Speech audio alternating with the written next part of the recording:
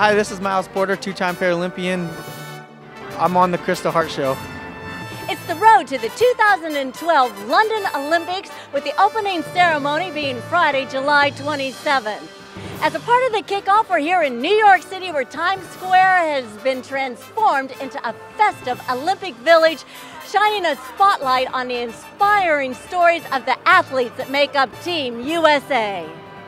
We're here in Times Square at the 100 date celebration for the 2012 Olympics with somebody who's going to be competing in the Paralympics in London yes, right sir. afterwards and, and hope to be competing in both events. Myles Porter, judoka. And Myles, it's good to see you here in New York. Hi, it's good to see you too. Thank you for taking your time out of your day to interview me.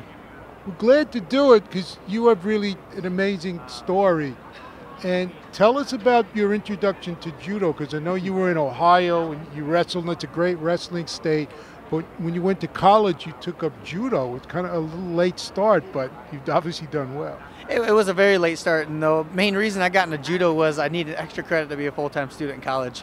Uh, normally, you need 12 credits to live in the dorms, and I dropped a class and I was down to 11. So my advisor only gave me three options, and I heard of judo before, so I got into it and did my first tournament after a month. Got hooked. You know, I took fourth out of four people, but made my first world team nine months into judo, and it's been a whirlwind ever since. How was the transition from wrestling to judo? Obviously, it gave you some advantage, but it's also obviously also a different sport. Uh, you you learn your mind and your body, and you learn you learn angles in wrestling a lot. And I wasn't that great of a wrestler. I, I was okay. I could hold my own, but I was mediocre. Um, I was no state champ, nothing like that. But I found my niche in judo. Judo was uh, a lot more angles, a lot more things I did good in wrestling, but it was bad for wrestling.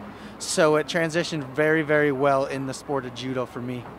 With the new rules in judo, there's less of the groundwork. How has that affected with the new a lot of the a lot of the new rules that affect us are the leg grabs and everything like that like you're speaking of um, because one of my main throws was grabbing legs and a lot of people used it defensively and one of my one of my teammates for Beijing he used it so offensively he taught me how to do it and and it took my main throw out of it so I had to learn a whole new set of skills leading up to 2012 games Now, you recently got a gold medal at the Parapan competition. Yes. I know you defeated a Brazilian that had beaten you a couple of times before, but tell us about trying to get on the Olympic team, which you didn't make, and you did make on the Paralympic team. How is it going back and forth between those two events?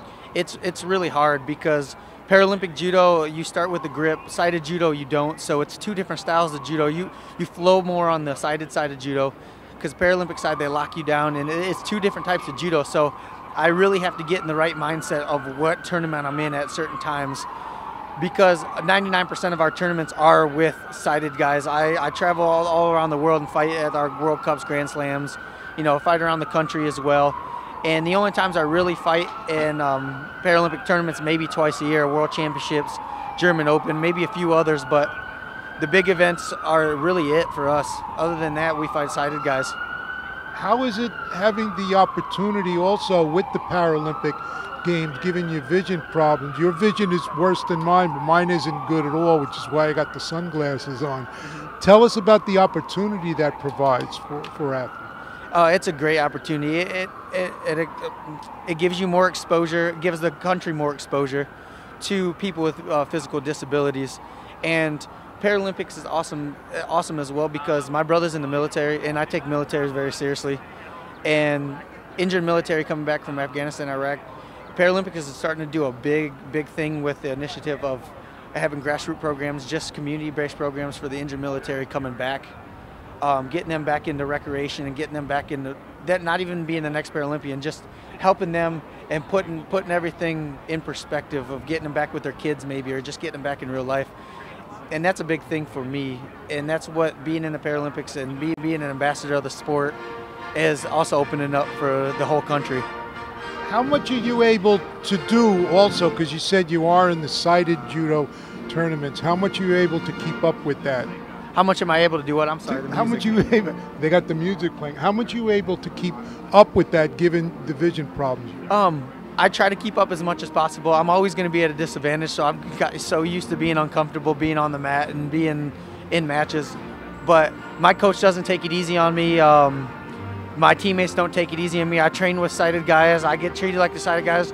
I came from a nobody from Ohio, and now, you know, I'm a team leader at the Olympic Training Center. You know, I'm the number one guy in the U.S. I'm ranked number two on the sighted side, so it's it's been it's been awesome, and I try to hold my own as much as possible. Do you have any plans after judo, after this Olympics? You want to continue coaching or anything? Uh, maybe coaching, but the first thing I have to get out of the way is my fiance is waiting to get married, so we got engaged in November, and I'm putting off a wedding until next May because I can't do a wed- I can't do a wedding in the Olympics in the same year. I think I'll explode.